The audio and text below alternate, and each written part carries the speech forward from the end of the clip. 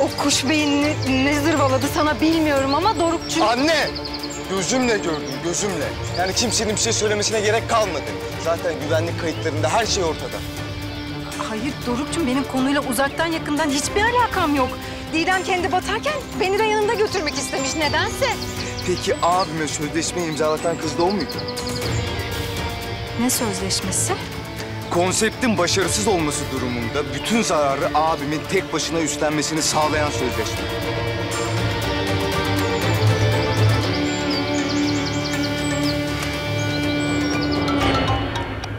Efendim? Yardımın gerekli. Aa, acil durum. En sevdiğim. Ya bir beş dakika rahat etmeyelim biz ya. Bir sorun olsun, çözelim. Nedir dinliyorum? Şimdi şöyle. Diyelim ki bir erkek. Ee, bir arkadaşının telefonlarını açmıyor. iki kere. Meşgule veriyor. Bu ne demek?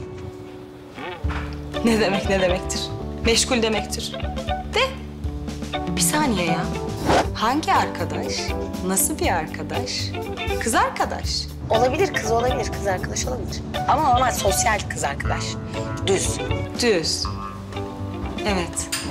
Ya sen ne zaman ayılacaksın benim saf tavşanım ya? Şimdi sen bu Doruk arkadaşı aradın, açmadı değil mi? Ya İpek nasıl biliyorsun? Hemen biliyorsun, her şeyi biliyorsun. Ben Doğru aradım açmadı. Ne oldu? Çok merak ettim. Küstük mü biz? Bir şey mi oldu? Kötü bir şey mi oldu? Biraz sakin ol. Bu çocuk iş adamı değil mi? Toplantıdadır, tuvalettedir. İş adamları da tuvalete gider Aslı. Yani duştadır, köpüklüdür. Hayat bu. Öyle değil ama benim bir içim rahat etmiyor. Ben daraldım. Bir şey oldu bana böyle. Tamam panikli kuzum.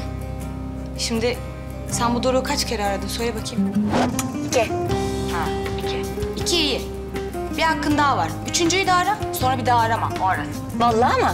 Hemen arıyorum ben o zaman. Bir kere daha arıyorum. Aslı, bak bu son hakkın. İyi düşün, ona göre ara. Açmazsa bir daha aramak yok ha. Hiç mi yok? Hiç yok. Aslı, asla. Of. O zaman ben az daha bekleyeyim. Sonra arayayım bari. Hadi.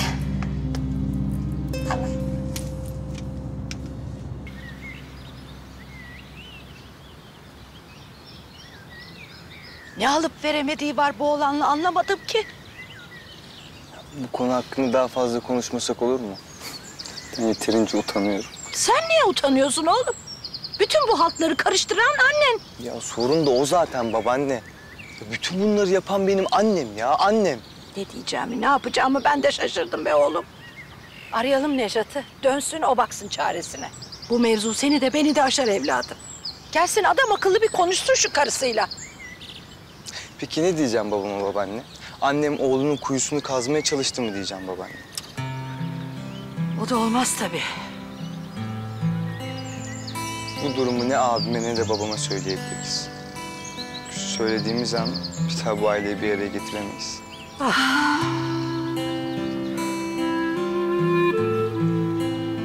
Babaanne. Babaanne iyi misin? Ah, tansiyonum galiba. Başıma bir ağrı oturdu bir. Bir kolonya ya da su falan getireyim mi ister misin? Yok yok evladım yok. Yok iyiyim iyiyim.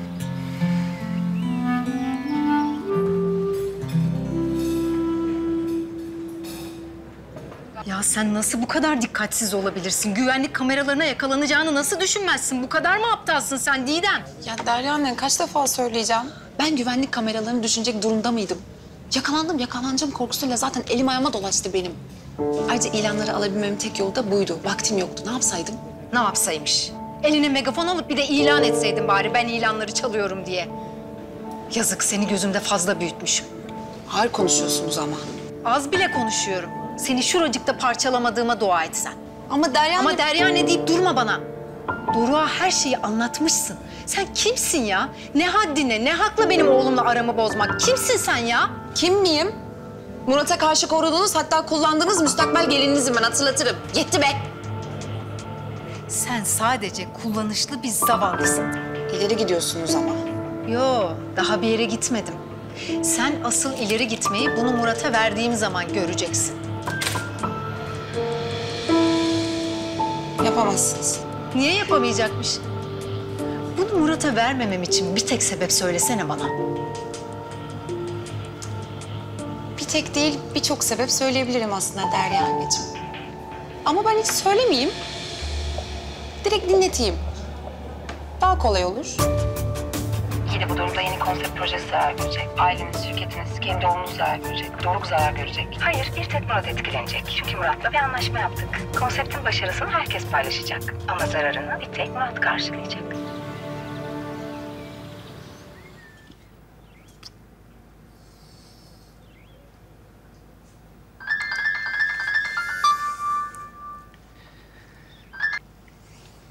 Efendim Aslı. Aç şu telefonu Doruk ya. Lütfen ya. Nedir yani? Bir alo demek bu kadar mı zor yani? Anlayamıyorum ben. Alo diyorsun. Bir tek açıyorsun alo diyorsun ya. Ne yani? Aslı. Alo Doruk. Açtın mı?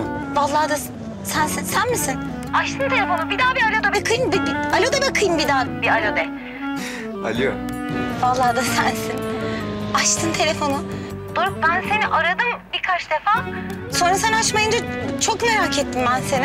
Ya ben de daha fazla merak etme diye açtım zaten. Ederim ben. Ederim. Kuruntulu kızım ben. Sessizlik beni mahveder. Kurarım, büyütürüm, doğururum. Sonra olaylar olaylar. İyi misin? Nasılsın? İyiyim iyiyim. Sadece biraz fazla olaylı bir gündü. Ne oldu? İyi değilsin sen. Bir şey olmuş. Ne oldu? Çabuk söyle. Ya babaannem biraz fenalaştı. Ben de şimdi yatırdım. Ya annem babam da evde yok. Ne yapacağım hiç bilmiyorum. Hastaneye mi götürsem, doktoru mu buraya getirsem bilemedim. Hiçbir şey yapma. Sen dur şimdi. Ben zaten taksideyim. Direkt oraya sizin yanınıza geliyorum. Ben zaten hissettim biliyor musun? Ben benim aklıma gelen başıma geliyor. Hadi kapat. Geliyorum ben. Ya Aslı'cığım bak hiç gerek yok. Ben tek başıma... Alo? Kapatmış ya. Deli kız. Karşıya geçeceğiz. Direkt karşıya. Tak,